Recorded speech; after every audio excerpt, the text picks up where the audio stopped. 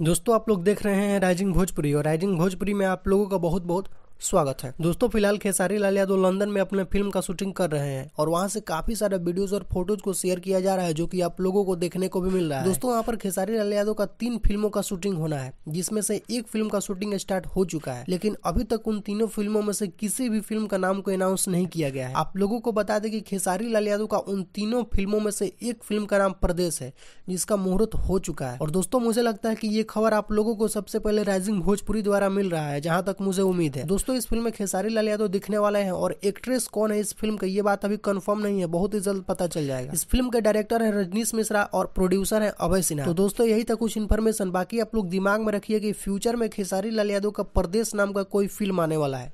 तो दोस्तों, इस वीडियो में सिर्फ़ इतना ही। वीडियो पसंद आया तो वीडियो को लाइक कीजिए। चैनल पर हैं तो चैनल को सब्सक्राइब करके बेल आइकन को प्रेस करके नोटिफिकेशन को ऑल कर लें। तो मिलते हैं एक नए वीडियो में नए खबर के साथ। तब तक के लिए धन्यवाद।